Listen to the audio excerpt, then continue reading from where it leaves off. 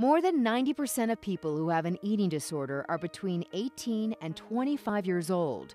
One in four students on a college campus has an eating disorder. Without the proper knowledge about anorexia, bulimia, and binge eating, and without the tools to combat them, students may become very sick. Without treatment, up to 20% of those with chronic eating disorders die.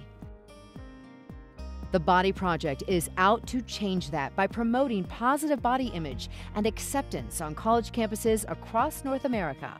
I really see students who are struggling with body image issues. They're oftentimes they've left home for the first time, they're on campus on their own. Academics in college are incredibly stressful, so they're under severe amounts of stress. The Eating Recovery Foundation recognizes how that stress can alter perceptions and behaviors.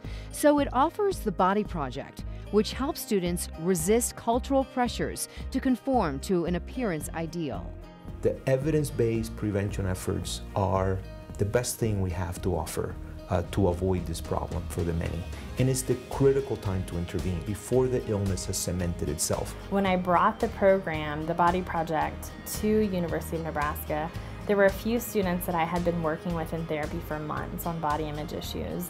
And after participating in the two-session Body Project group, um, it, it, did more progress. They had more progress in the group than they had in months of therapy. So it's it's incredible just how much a group of peers can get through to another peer.